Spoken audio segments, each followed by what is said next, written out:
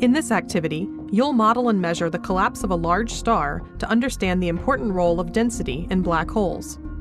You'll need a latex balloon blown up to 6 to 8 inches in diameter, a few sheets of aluminum foil, a digital scale, a flexible tape measure, and a pair of scissors or another sharp implement. Completely wrap the balloon in the aluminum foil. When you're done wrapping, you don't want to see any of the balloon peeking out. It may take a few sheets of foil to do this, depending on the size of the balloon, so use whatever you need. This foil wrapped balloon represents a large star. Measure the circumference of the balloon with the tape measure and weigh the balloon on the scale. Record your baseline measurements.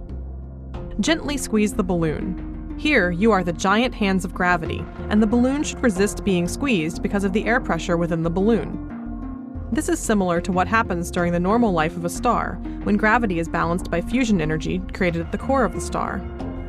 Now you're ready to simulate the end of the star's life as it runs out of fuel and that balance is broken. Pop the balloon carefully, trying not to crush the aluminum foil as you pop it.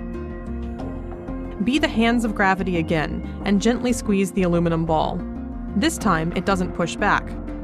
Make it about an inch smaller, keeping it as round as possible. Again, measure its circumference and weight and record your new measurements. You'll repeat those steps a few more times, crushing down the foil ball about an inch more between measurements. For your final measurement, crush the ball as much as you possibly can while keeping it round.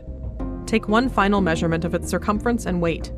You'll see that even though the size of the ball changed, its mass did not.